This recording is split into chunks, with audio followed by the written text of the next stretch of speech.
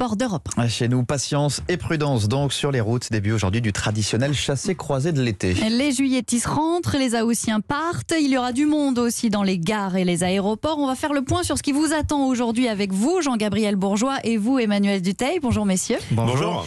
Alors sur les routes, d'abord, il va falloir prendre son mal en patience, Jean-Gabriel Bourgeois. Oui, c'est le week-end le plus chargé de l'année, hein, prévient Bison Futé. La barre des 1000 km de bouchons cumulés, déjà atteinte les samedis de ce mois de juillet, devrait être de nouveau franchie. Demain, pour la première fois de l'été, la journée est classée noire dans le sens des départs. Et dès aujourd'hui, ce sera orange au niveau national dans les deux sens. Si vous le pouvez, quitter l'île de France avant la mi-journée. Euh, parmi les axes chargés, l'autoroute A7 entre Lyon et Orange, puis en direction de la Méditerranée, mais aussi l'A10 vers l'ouest et le sud-ouest du pays. Jusqu'en début de soirée, ça s'annonce compliqué aujourd'hui comme demain.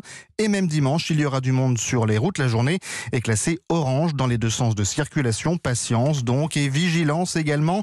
Après les confinements successifs, 43% des Français se disent plus fatigués que l'an dernier. La somnolence reste la première cause de mortalité sur autoroute. Et eux sont déjà partis pour éviter le gros des bouchons. Cette famille du nord de la France que Maximilien Carlier a rencontré hier à Villeneuve d'Ascq pendant leur dernier préparatif.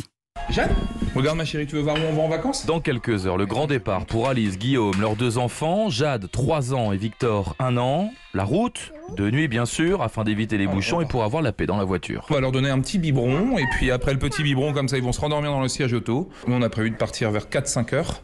Direction la Vendée, direction les Sables d'Olonne. Les vacances en mobilhome avec plein d'activités à faire pour les enfants, la piscine et la plage à proximité. Moi nager dans l'eau avec des brassards. Bon, les valises sont déjà prêtes avec un peu plus de vêtements chauds que d'habitude. On a pris des pulls pour le mauvais temps, mais on espère quand même pouvoir sortir les t-shirts et la crème solaire. Mais bon, il vaut mieux être prévoyant. Prévoyant également face au Covid, les deux parents sont vaccinés, deux doses et 7 jours de protection, mais il y a une part d'inquiétude, surtout dans le camping. J'appréhende quand même un peu puisque le pass sanitaire sera vérifié qu'une seule fois à l'entrée. Et la Vendée est quand même assez touchée, il y a quand même une recrudescence du virus en Vendée avec le port du masque sur le littoral.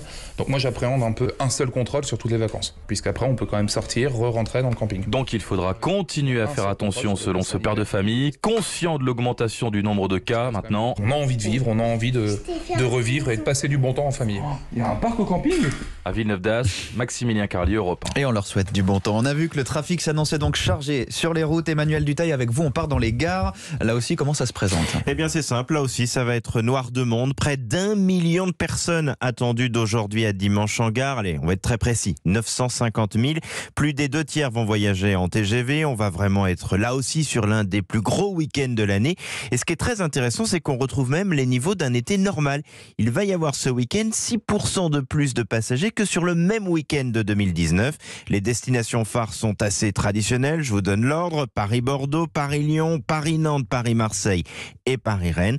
Pas de passe sanitaire hein, pour le moment à, présenter si vous prenez le train. Ça devrait être le cas à partir du 9 août. Il faut donc juste un billet et puis quand même un petit masque. Allez, on file dans les aéroports. Il y a du monde là aussi. Allez, je vois que vous avez envie d'aller en vacances, alors on y va. Euh, il y aura quand même aussi pas mal de monde effectivement là-bas, mais là on ne retrouve pas encore les niveaux d'avant-crise du côté des, des aéroports. On va prendre l'exemple d'Air France si vous le voulez bien. On attend 80 000 passagers par jour à Roissy, 22 000 à Orly euh, pour ce week-end. À titre de comparaison, en 2019, on était quand même sur un petit peu plus de 100 000 passagers par jour à Roissy. Mais chez Transavia, la low cost d'Air France, on a le sourire. Il y a vraiment des achats de dernière minute. hein. C'est vraiment la tendance de cette année. Ils pensent finir à 90% de remplissage dans le sens des départs pour ce week-end. Je vais vous donner un petit chiffre. Mercredi, la compagnie a vendu 1500 billets pour ce week-end.